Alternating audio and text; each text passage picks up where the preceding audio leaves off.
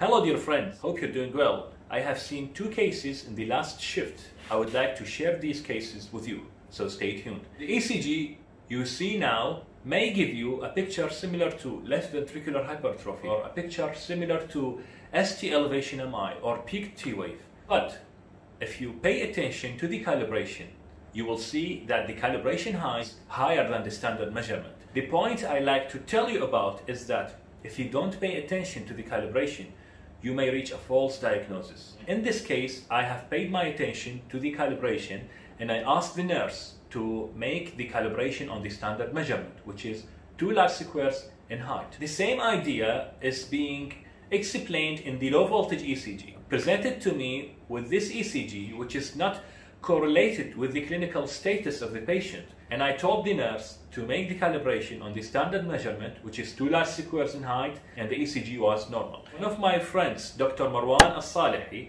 have seen a case with acute coronary syndrome presentation, and he sent her to the ECG room. But the ECG didn't show any ST elevation, but he paid attention to the calibration of that ECG, and it was low voltage. And he said that he was sure that this ECG is ST elevation as soon as the calibration is being on the standard measurement.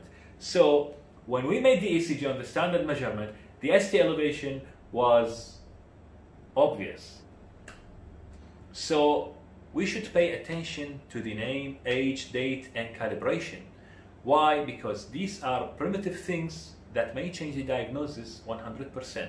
And remember that our goal is not to read the ECG as fast as we can, but our goal is to read the ECG as best as we can. Don't forget to subscribe for Medicophilic and to share the video with your friends. Thank you so much.